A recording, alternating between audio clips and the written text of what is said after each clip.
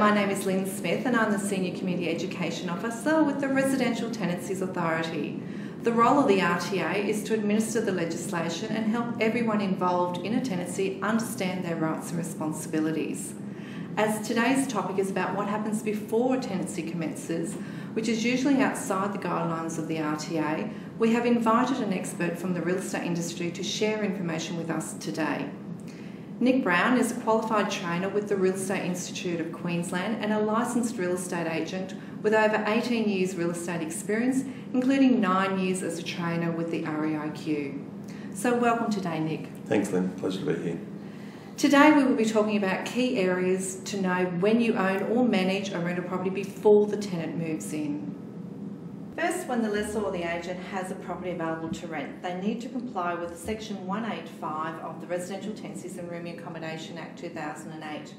At the start of the tenancy, the lessor must ensure the premises and inclusions are clean and the premises are fit for the tenant to live in and the premises and inclusions are in good repair and the lessor is not in breach of a law dealing with issues about the health or safety of a person using or entering the premises.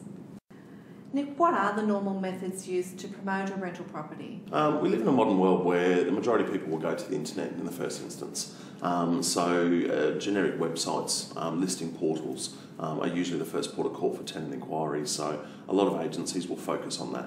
Um, another thing that we do see with agents, particularly, uh, is that uh, they'll have a database of prospective tenants. So they might already have people that are, are ready to roll um, and ready to look at the property. So that's always their first port of call. Um, in the regional areas, we do see local newspaper advertising, um, and generally across Queensland, signage is still very prominent, um, but you do have to be mindful of any restrictions that that particular property may have on signage.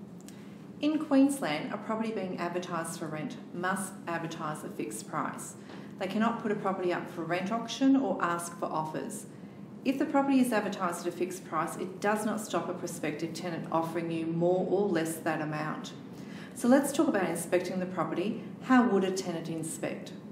Once you have inquiries from your advertising, you can conduct a private inspection one on one or do an open house. Um, it is rare these days to hand keys out. Um, you do need to be mindful of security uh, when it comes to the key side of things, and it's also uh, a good opportunity to have a chat with prospective tenants about what they're after. Please note if the property is currently rented, the lessor or their managing agent would need to give the current tenant notification of their entry to show prospective tenants through. You would use a Form 9 entry notice and give the correct time frame. Under Section 204, you would need to get the current tenant's written permission to conduct an open house to show multiple prospective tenants through. It's always best to communicate with the current occupant about what your proposed inspection plan is. So, whether the property is vacant or you've given notice to an existing tenant to show prospective tenants through, what is the next step, Nick? Uh, once a tenant's viewed the property and is keen to move in, um, it's recommended to have the tenant complete an application, um, providing the lessor or the agent information about themselves. Um, some of that information will include not just their name and current details, um, but it also may um, be where they've rented in the past, um, where they work, sources of income, um, and even some personal character references. Um, often agencies um, and, and some uh, private landlords will ask for 100 points of ID. Okay, um, that can vary, so you do need to be mindful as a tenant um, of that, um, but more importantly, as an agent or as a property owner, of letting the tenant know what you do actually require as part of that process. Um, references are very important as part of the application process. Uh, this could be current um, and or the work references, as I mentioned a moment ago. Um, it's always wise to check out any references uh, provided. Um, using a checklist and a standard procedure is always important going down that track because you want to make sure that you ask the same questions of each applicant um, when you're getting those checks back.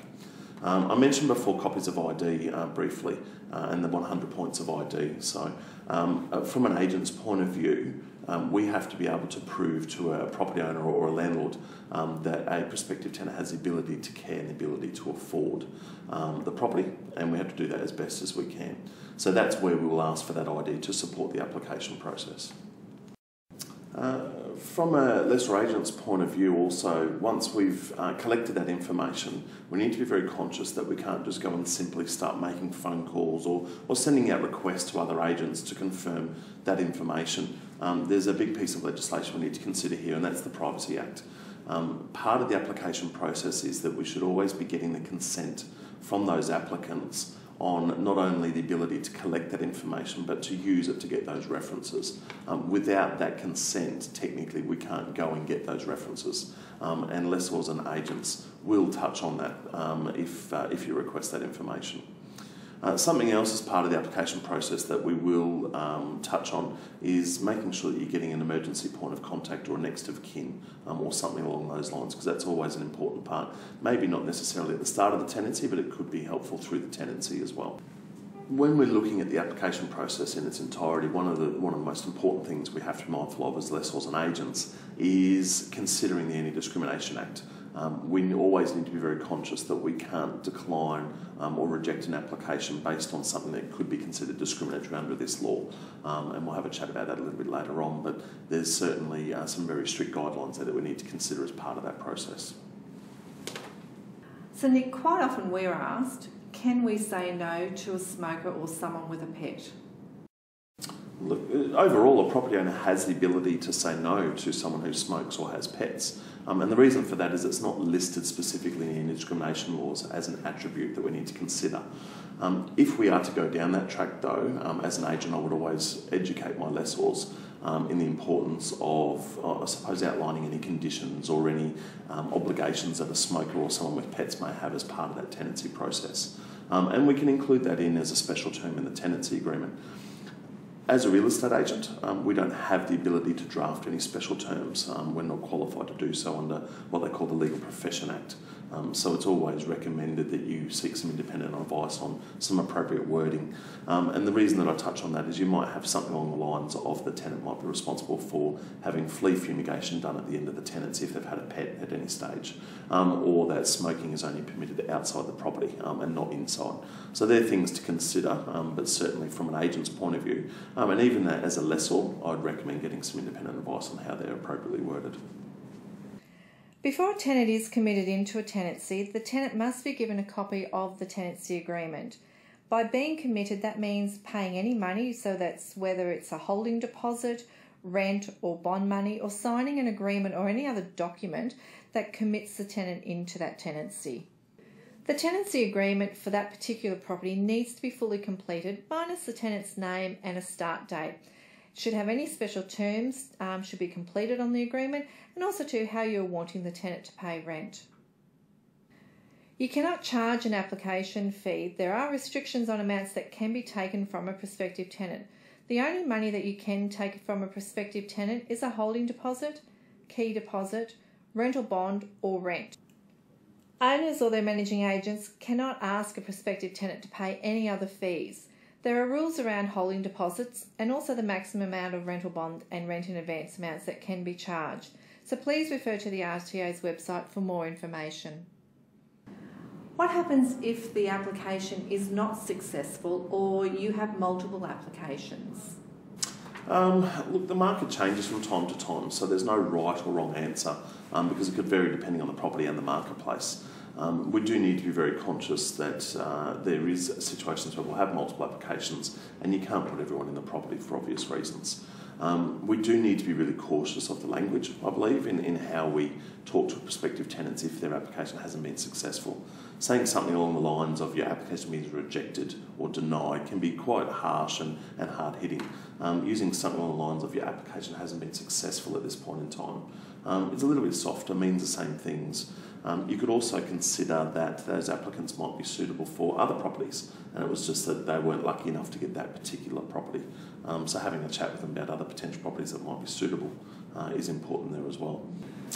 Um, once an application's at an end and if it hasn't been successful, um, as an agent and definitely as a lessor as well, um, we need to be conscious again of the privacy, um, making sure that we secure the information or we destroy it appropriately, that we don't just have that information out there available um, or where someone could pick up. Nick, what would be your top five tips to share regarding today's topic? Um, the five points I'd probably consider most important regarding today's topic would be first and foremost making sure the properties are ready, um, that there's no breach of any health and safety laws, um, it's clean and tidy and it's ready to go. Um, even if it's still tenanted, it still needs to be ready to go um, on the date that you've uh, advertised it's going to be available from. Um, have your property insurances up to date, your building, your contents, um, public liability, and it's also recommended to have landlord's insurance as well. Um, hopefully, never have to use it, but in the event that you may need to make a claim down the track. Um, being prepared at your inspections um, and being able to help educate those potential tenants of what they do from there if they're wanting to apply. Having a copy of their application form, um, letting them know what ID and 100 points proving address, previous history, those things that we chatted about a little bit earlier, um, because that will vary from agency to agency or even landlord to landlord. Um, so tenants aren't expected to read your mind and know exactly what you're after. Um, making sure you do your reference checks, um, whether it's their past rental history, confirming employment or a source of income, um, and definitely the tenancy database checks and being very thorough with those and making sure that you've got evidence of uh, what the outcomes of those reference checks are. Um, remembering as a landlord, it's the, your property and you can choose who you put into the property. In saying that, though, we do need to be mindful of the Anti Discrimination Act. Um, we also need to be uh, conscious of the privacy laws and the tenancy laws that impact on that process as well. So thank you for your assistance today, and again, a special thanks to our guest Nick Brown from the REIQ. Remember, if you need any information regarding Queensland tenancy laws, rights and responsibilities, contact the RTA or go to the RTA's website rta.qld.gov.au.